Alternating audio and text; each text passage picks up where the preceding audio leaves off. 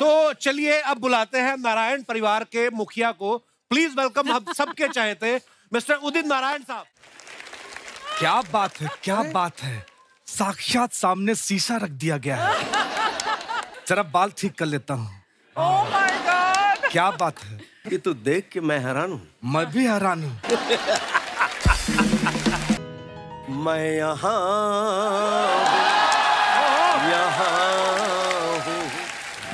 यहाँ हूँ। यहाँ। वाह वाह वाह। कितनी अच्छी कॉपी आदि बेटे नानू। क्या बात है यार। कैसे? ऐसे आप गाते रहिए आपको ज़रूर पद्मश्री मिलेगा। आ, मुझे तो यही असली लग रहे हैं। हाँ यही है मेरे पापा। क्या पापा?